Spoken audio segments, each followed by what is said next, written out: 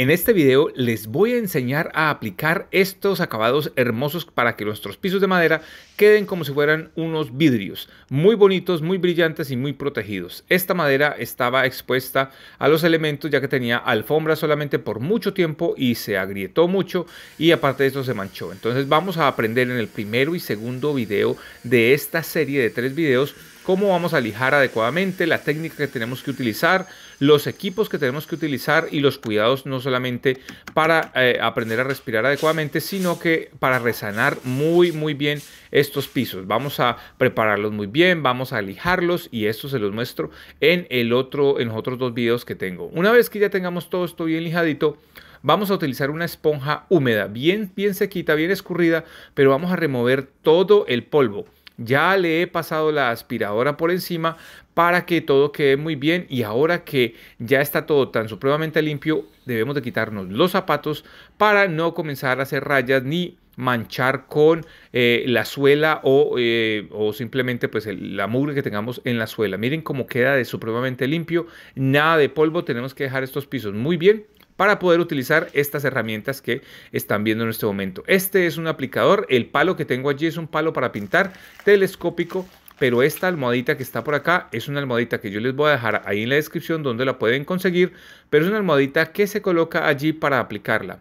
Existen diferentes materiales, en este caso esta es muy buena y la pintura o el acabado que vamos a utilizar este poliuretano muy bueno para de secado rápido, mm, completamente brillante, no es semi brillante, sino en este caso es brillante, el alto brillo.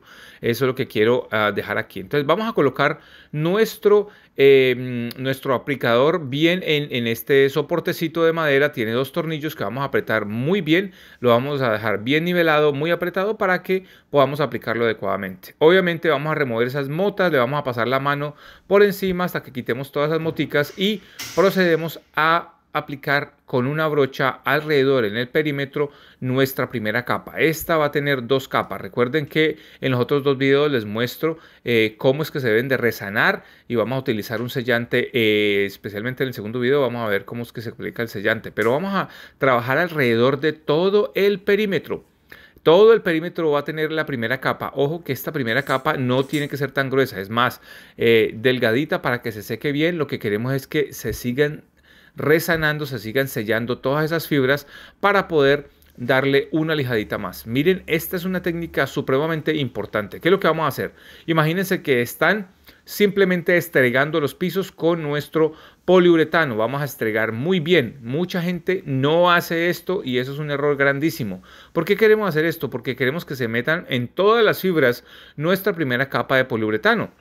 Si ustedes notan, yo no estoy teniendo ningún cuidado en este momento en la dirección, solamente no quiero pues agregar demasiado contra las orillas, quiero colocar la primera, la primera untada con, en, en la parte más central y lo voy esparciendo así.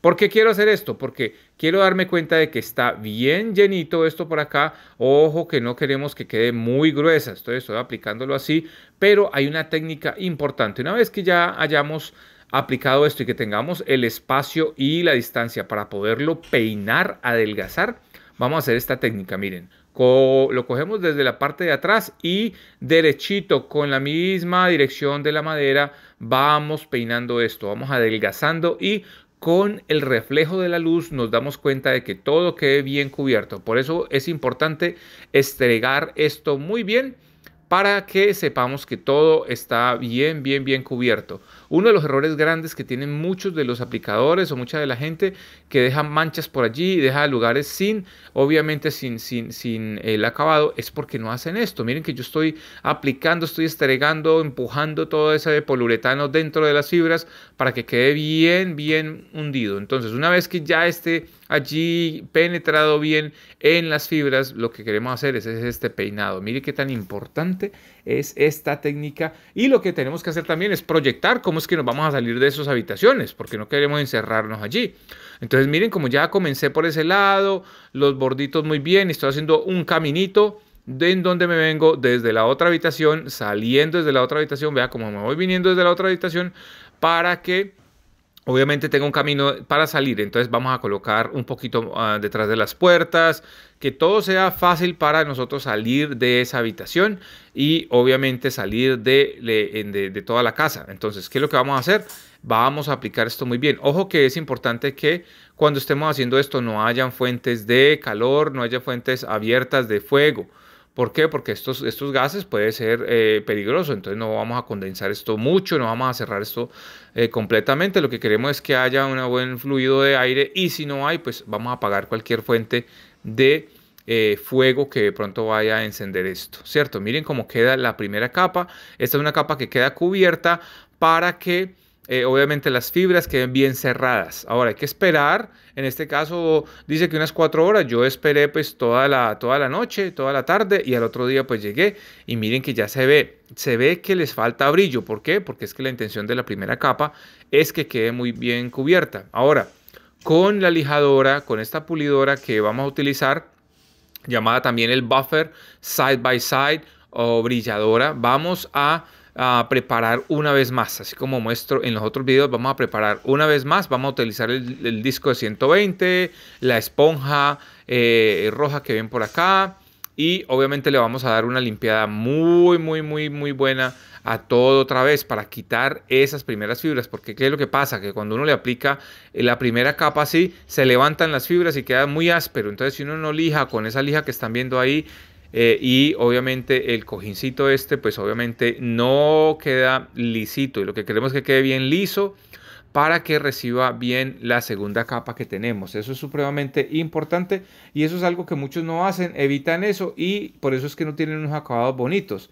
Entonces, si ustedes notan aquí, obviamente todo va a ser cubierto una vez más. Ahora, la segunda capa igualita, pero en este caso vamos a ser más generosos con nuestro, eh, nuestro, nuestra cantidad de material. Lo que queremos ya es embadurnar esto muy bien y obviamente miren que, que, el reflejo de la luz nos va a ayudar mucho. Entonces siempre tienen que estar mirando de un lado para el otro para que no les van a quedar por allí algunas imperfecciones, pero una vez más vamos saliendo de esas habitaciones como lo habían visto, vamos mirando con la reflexión de la luz, que no nos van a quedar eh, lugarcitos por allí que nos falte, y vamos saliendo de la habitación adecuadamente ah, para que obviamente todo quede supremamente bien cubierto. Miren que yo en este caso eh, lo tomé, fue al revés, comencé desde, desde el lado de la habitación de atrás, y comencé y llegué hasta donde está la chimenea para salir en este caso. Lo importante es que ustedes puedan hacer un caminito para poder salir y que cuando estén aplicando no apliquen demasiado porque en ocasiones lo que pasa es que no alcanzamos a peinarlo bien con la dirección de la,